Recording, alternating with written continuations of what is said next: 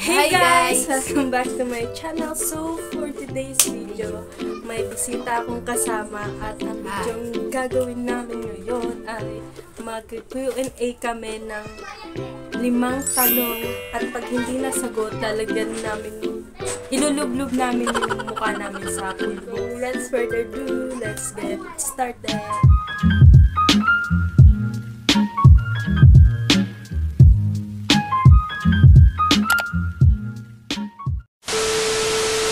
Game.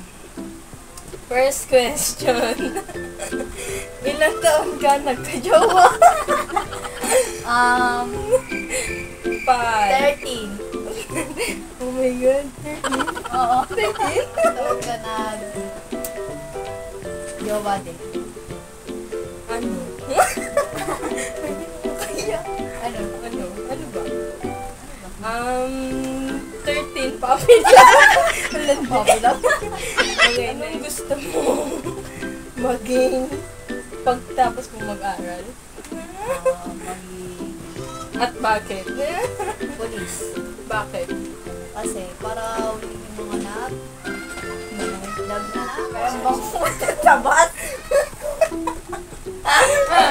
Kaya mo umutot sa bus. Oo.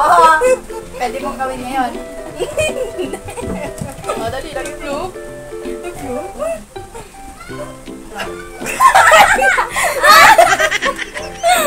Ano? Next question. Hindi ko alam kung pang ilang tanong na to. Kaya mo bang i-let go ang pinakamamahal mo si ano? Ah, Pag hindi, hmm, alam mo na. Oh, lublog! Dalawa kayo. So guys, dalawa yung akin. Grabe ito magmahal. Grabe ako magmahal eh. Kaya, Okay guys, yun lang. Tapos na. Tapos lang guys. Sana nagustuhan niyo ang aming video and don't forget to like and subscribe para updated ka sa aming mga videos. Kung may gusto pa kayo ipagawa sa amin, comment down below and sana nag-enjoy kayo sa video namin ginawa. So, yun lang guys. Bye! Bye!